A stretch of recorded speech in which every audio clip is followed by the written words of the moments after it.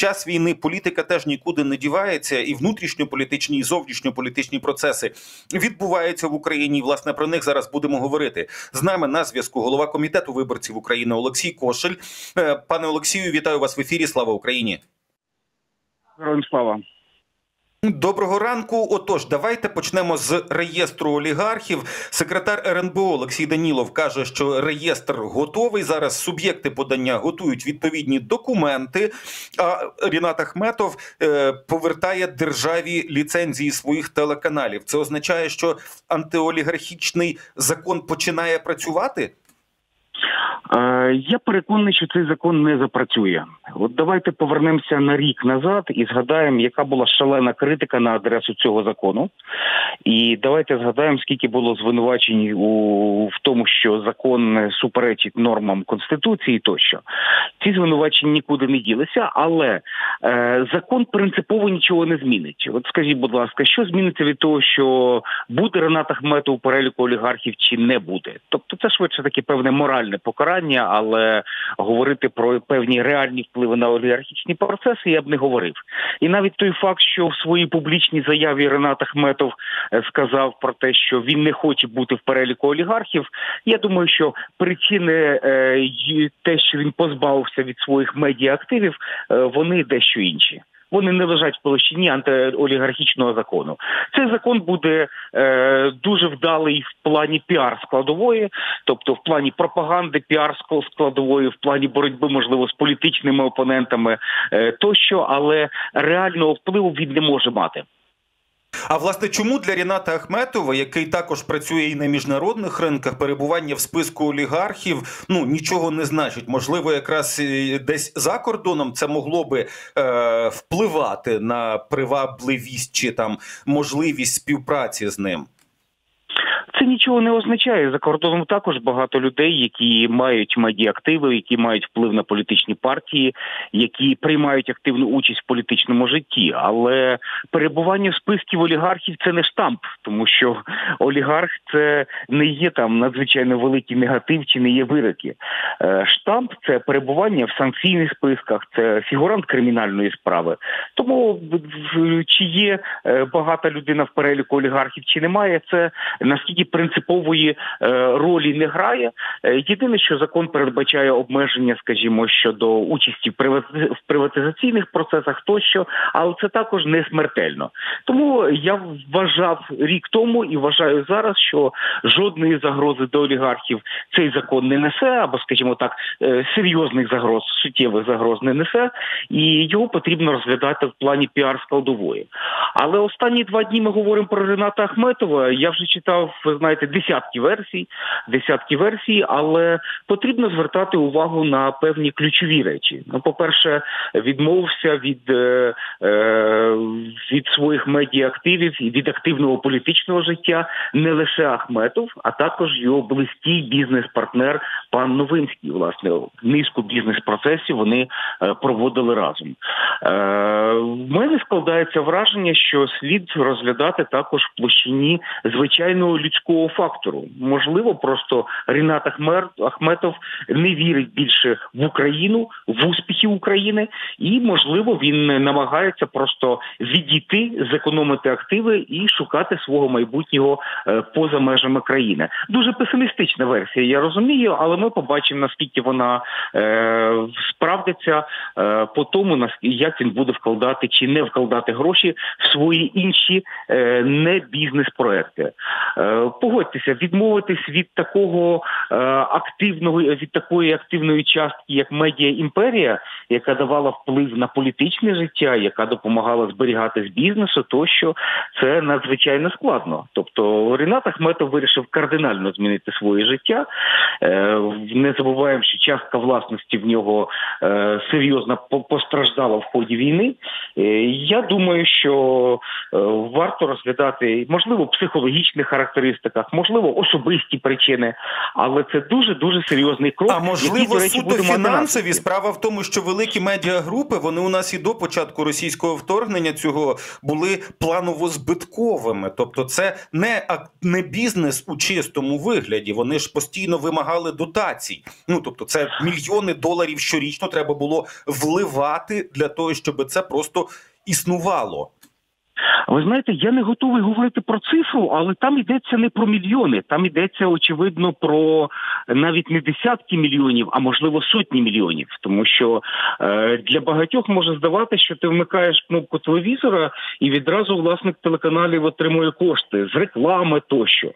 Але насправді медіа в Україні це надзвичайно збитковий бізнес, і дотувати наскільки великі медіахолдинги, як Рената Ахметова, це збитки кожного року, які вимірюються. Я переконаний, що не десятками, а сотнями тисяч доларів. Ну, принаймні, я зустрічав такі експертні цифри, які я схильний довіряти. Е, і тому це так. Це банально спроба заощадити гроші, гарантувати собі майбутнє життя, враховуючи, що е, бізнес, е, бізнес, м'яко кажучи, похитнувся. Можливо, гарантувати собі безбідне життя і за межами України. Ну, тобто порізати ризиковане і займатися чимось іншим. Добре, Е, але ж е, канал, ну точніше, не канали передаються у власні держави, а повертаються лише. Ліцензії, і це означає, що медійний простір України тепер скорочується, і це знову ж таки викликає запитання до стану плюралізму думок. Хоч у нас і був плюралізм, такий е, як це називається, тому що це були думки е, каналів, які належать різним багатим е, громадянам України і не лише України. То зараз він скорочується. Що це для нас в політичному сенсі означатиме, і чи не буде у нас величезного монстра державного телеканалу, про який так хотілося би напевно комусь у владі помріяти? Е, Ви знаєте, я боюсь не лише за великого монстра у вигляді впливи держави, я боюсь також за величезного політичного монстра, тому що Ренат Ахметов зараз порізав не лише медійний ринок. А він порізав також і е, е, партійний ринок. Він порізав політичне життя достатньо серйозне. Давайте не забувати, що завжди в Україні від головних телевізійних кнопок залежали ті чи інші політичні проекти. Ну от я наведу маленькі приклади. Е, напередодні. Е, Напередодні 24 лютого, власне, період останнього е, період останнього року, дуже частими гостями на телеканалах саме групи Рената Ахметова е, були Дмитро Разумков, який був один з ключових е, ключових промовців на цьому каналі.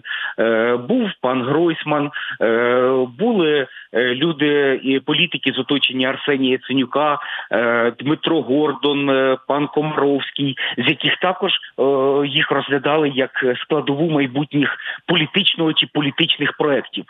Е, Тепер цього вже не буде.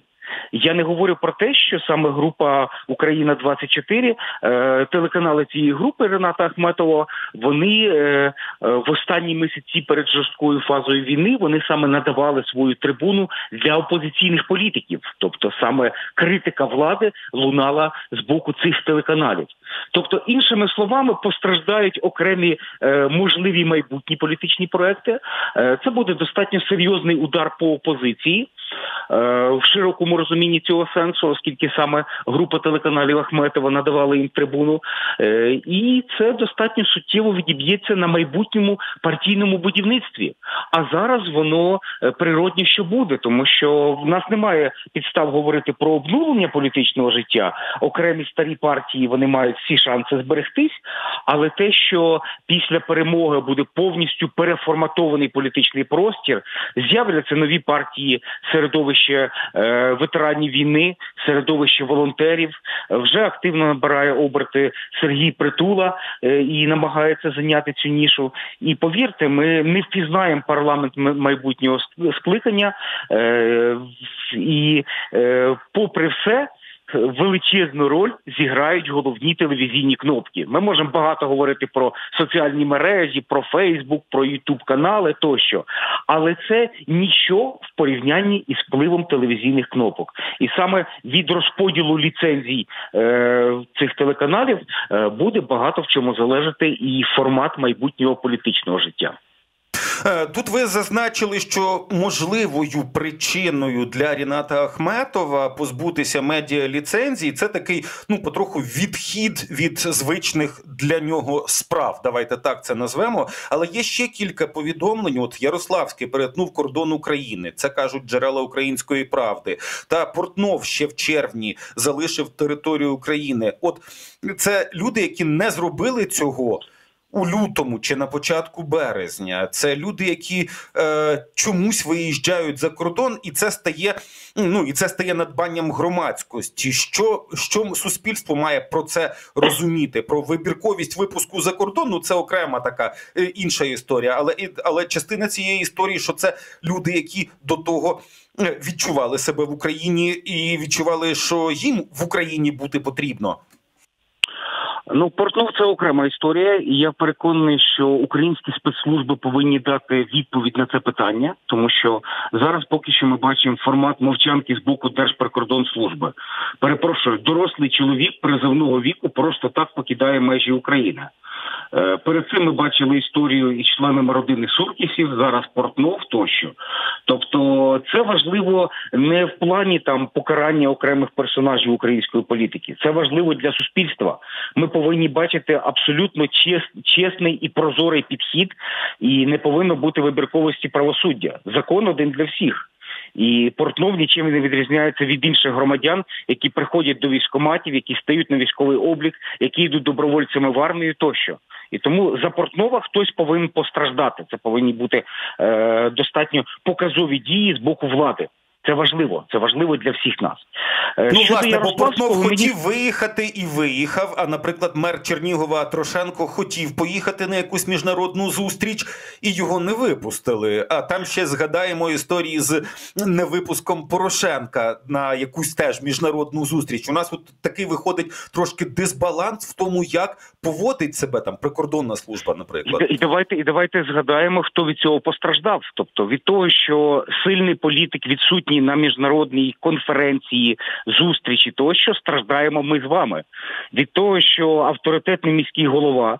Ми маємо підстави говорити, тому що Трошенко отримав близько 80% на виборах.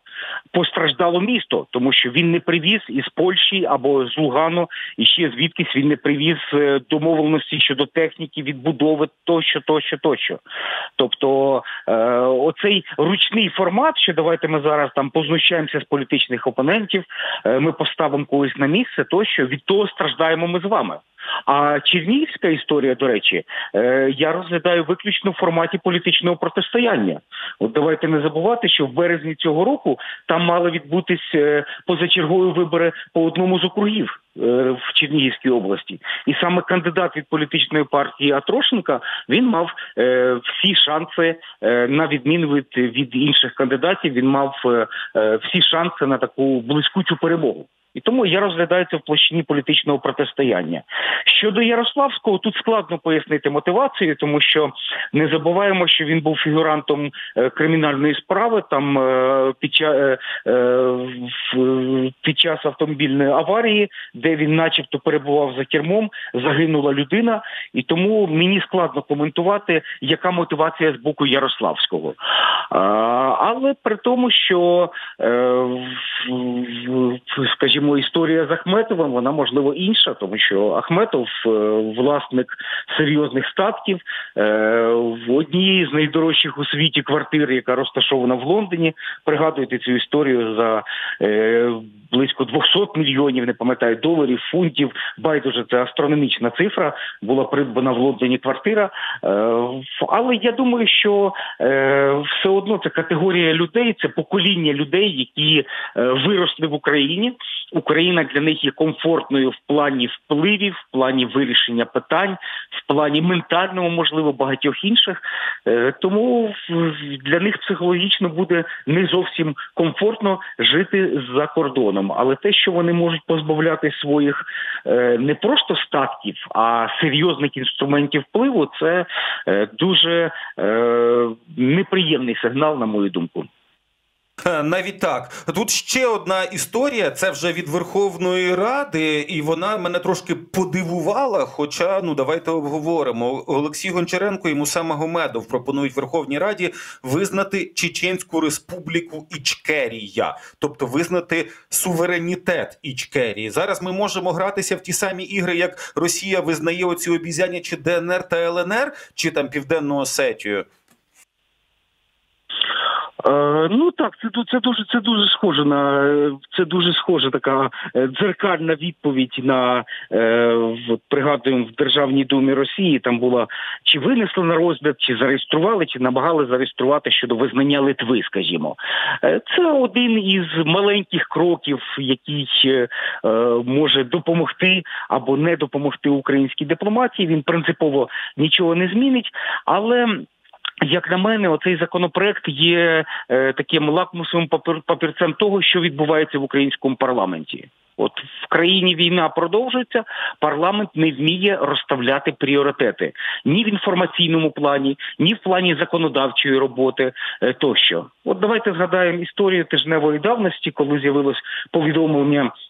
Е, Повідомлення про те, що е, я маю на увазі е, скандал із інформацією, яка з'явилась від генерального штабу щодо можливу, можливого вручання повісток тощо, і відразу ж щодо щодо перетину перетину адміністративних кордонів місць пере- перебування.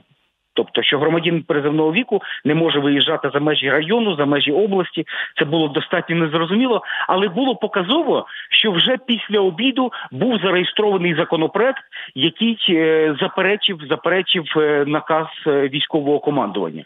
Для мене був шок. Законопроект, який з'являється через 3-4 години після появи інформаційного повідомлення. Законопроект не можна розробляти за кілька годин. Законопроект не можна писати на коліні. Законопроектами не потрібно грати в піар площині. Е, Законопроекти потрібно писати чітко, якісно, не переробляти, і парламент вміє е, по- повинен розставляти пріоритети. Які законопроекти зараз є ключовими на підтримку е, армії, на підтримку бізнесу, інші оці пакети законопроектів вони мають чітко розроблятися. А в мене складається враження, що парламент продовжує працювати хаотично, парламент продовжує працювати багато в чому в піар складовій, і е, це не просто слова з мого боку. Е, я можу достатньо довгий час підтверджувати ці слова. Ну от маленький приклад: парламент приймає законопроекти, а президент Зеленський накладає вето. В мирний час це дуже гарний якісний механізм, механізм вето. Але в воєнний час парламент не повинен витрачати е, хвилини чи години на пінг-понг законопроектами. Вони мають бути погоджені з кабінетом міністрів, мають бути погоджені з офісом президента, якщо президент суб'єкт законодавчої ініціативи, і мають бути юридично настільки точними, що потім не потрібно було втрачати час на накладання вето.